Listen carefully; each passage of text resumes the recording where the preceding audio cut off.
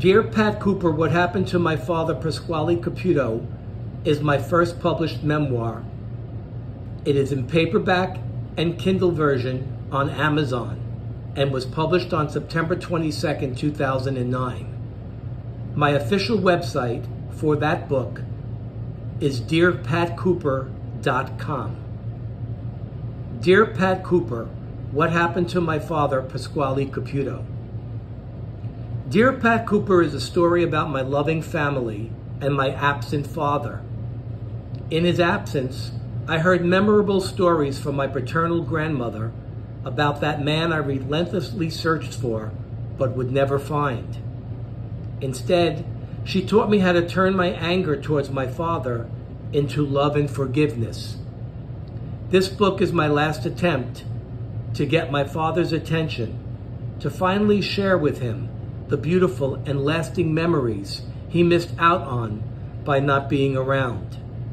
And lastly, make him realize and know the impact his mother had on my life, how she picked up his slack and the lessons she bestowed upon me.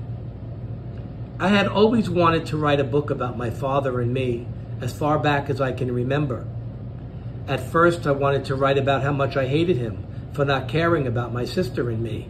But deep down, all I wanted was an opportunity to tell him how much I loved him and missed him being in my life. I tried my best to tell my father that, but he never heard me. Instead, every time we met, he found fault with my clothes, my manners, and always the rest of the family. These attacks became part of his persona and a way of not getting too close to me or anyone else in our family. He hated us with every fiber of his being, and I could never understand why. What did any of us do to make my father keep away from the whole family and go find himself a new one? It never failed. No matter how many times I tried to connect with my father, Pasquale Caputo, all I ever got from him was Pat Cooper, the angry comedian. My journey hasn't been an easy one, and the pain never goes away. However, my main purpose for writing this memoir is to help others who have gone through a similar heartache. If my story can help at least one person or child who has had an ego driven, emotionally unavailable parent, then my purpose has been achieved.